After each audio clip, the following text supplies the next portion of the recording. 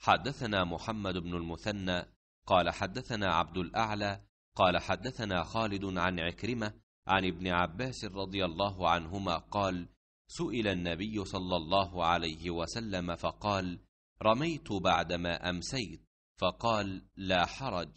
قال حلقت قبل أن أنحر. قال لا حرج.